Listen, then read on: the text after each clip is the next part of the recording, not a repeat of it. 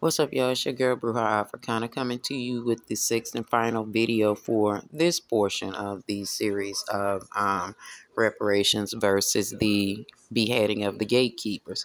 I think I'm going to continue to do these series like this, um, so look out for more of those. The next one I want to do is Aaliyah's connection to this. But anyway, let's talk about Usher and his nefarious plot to be the king of R&B. Hell, to be the king at all. Usher is in a space where shit, he's not the king. He's not the top R&B artist. He is not that top nigga that he once was. Y'all know when the time was when Usher was everything he jumped on was Ghost Pepper Hot. Everything he recorded sold out, gave motherfucking did numbers. Usher used to do numbers. Well, that was in the past. These things have passed on and Usher is just, you know, considered an older artist and he can't take that. It's not that he's fallen off, but it's a thing of Usher wanting to be the uh, most spoken of, most exalted, most decorated R&B person or R&B singer, excuse me, amongst the likes of the guys that are around now, but more um, most pressingly for um, Usher is he wants to be spoken of as the king when standing next to Chris Brown. See, all the rest of the guys, like the Jacquees, the um, Trey Songz. And by the way, we're going to do a Trey Songz reading because Trey Songz is the villain that people keep painting Chris Brown out to be. But anyway, Usher, you know, sees Chris Brown as a direct threat to his title as the king of R&B. Y'all know that Michael that Michael Jackson gave uh, the crown to Chris Brown. Well, Usher didn't like that. So, you know, that's why he was fake crying at Michael Jackson's funeral, trying to remind people, yo, I'm Usher. Remember me? Remember y'all used to fuck with me? And that's just what's going on with him now.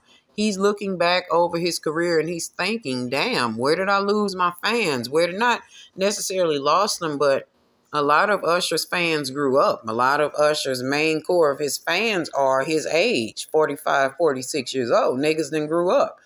Usher doesn't, while he's not shunning that portion of his fame, that part reminds him that his heyday is over. And he's feeling like now he's a outsider looking in on a R&B world that he feel like he helped contribute to building. He's having a little bit of creator's block. You know, he's recycling these old songs. He doesn't have any new dance moves to to give us. By the way, y'all, Usher can't really dance. He just know how to move. That's his other side of the jealousy against Chris Brown. Chris Brown can really fucking dance. Usher can move around. That's it. He used to flip back in the day like Chris Brown, but he stopped doing it because the nigga got old. So now he's trying to figure out what can I do? What what can I do to, you know, easily get people back? He is not interested in working hard. He is not interested in rebranding himself as a new Usher because y'all see he's coming out with the same cadence, same bullshit he was doing for the last 15, 20 years that he's been active in front of us. He has nothing new to offer us. So he's trying to think like, look, what can I do other than something nefarious? Something nefarious to change the fate for Chris Brown. There's Chris Brown showing up as the Taurus in the Hierophant card. He's thinking, you know, how can I knock this nigga out of the way? What can I do to um take his title, take his crown? He's got to behead the king. So Usher turns to Diddy. And I told y'all Diddy was hooked up in all of these situations that we're speaking on. Diddy has been around or in the circle of all of these people that are showing up in these reads. So Usher reaches out to Diddy. Diddy suggests to him, you know, Chris Brown's already seen as a demon. And this is just the devil card, the death card, Hierophant, and the page of wands. Diddy suggest go back into, you know, using the magic that we've been using to be able to overtake Chris? See, Diddy couldn't get Chris Brown in his bed, so Diddy got a problem with Chris Brown already. He already got an axe to grind, and he's like, we got to get this nigga gone because Chris Brown knows about the shit that they're doing. So they fashioned this thing. You know, I know that they, Usher and Chris Brown were supposedly friends for years, but that wasn't it. Usher was supposed to be the handler that was supposed to get Chris Brown to come over and sleep with Diddy. It did not happen that way. And when things were not being going the way that Diddy needed Usher to do them, you know, the way he did Justin Bieber. We're going to do one on Justin Bieber too, because he's crashing the fuck out as we speak. But when Diddy couldn't, I'm sorry, when Usher couldn't deliver Chris Brown to Diddy, Diddy took off. Diddy lost interest in Usher after, you know, being his boy toy for years. He like, yo, I wanted somebody new, and you couldn't even del- deliver that.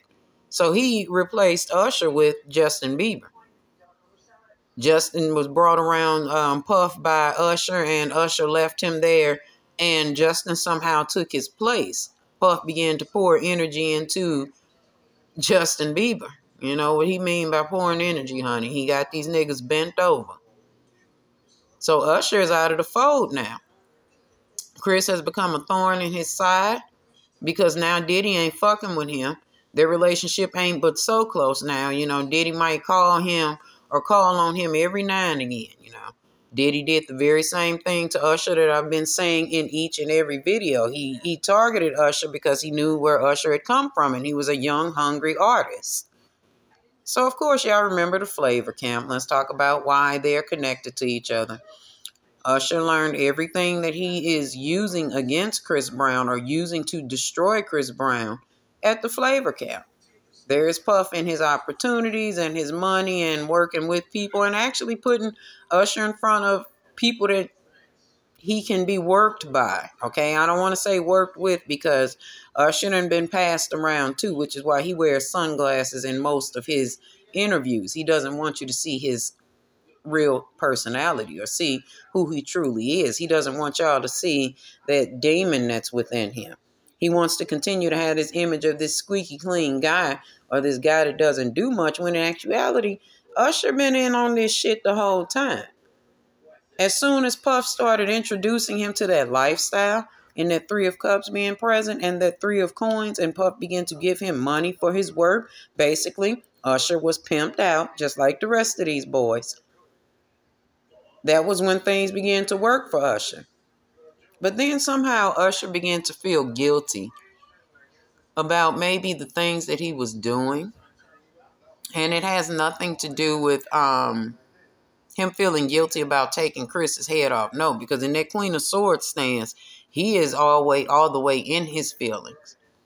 But it's something about Usher wanting to make sure that other men or younger men went through the exact same thing he went through with Diddy. So that they would maybe not have anything to hold over his head is what I'm feeling they wouldn't have anything to hold against him because they too have allowed Diddy to ease in between their ass cheeks too. So the Queen of Swords is present because Diddy may have stopped fucking with him in that way. And when Diddy stopped fucking with him in that way and started really focusing his attention on other younger feminine boys, Usher got jealous. Usher got to the point like, damn, whereas that he used to come fuck with me and help me out he's stalling me out now. Puff ain't interested in me because I'm over 40 years old. Usher is starting to see things dwindle around him. Meanwhile, he's seeing Chris Brown blow up. He's seeing Chris Brown still have career longevity despite him having these issues, you know, being arrested, having these domestic violence charges, everything that has been put in Chris's way or in his path, he's overcome. And now Usher has decided, you know what, I'm going to definitely reach back in this bag of what Diddy has taught me. Not about the sexual shit, because he couldn't get Chris with that shit. That's part of the problem. They couldn't fuck on Chris. These men couldn't screw him. So now Usher is running with the fact of, oh, let's use his past against him. Let's destroy him in that way. You know, Usher knows how to work women. He feels like women are stupid. I don't know why y'all are all up his ass and kissing his ass because he really thinks lowly of women. And he feels justified in the fact that he is about to ruin relationships that Chris Brown has built, the relationship between them, first of all, he doesn't give a shit about. He was lying about him being his friend in the first place. It was all about manipulation.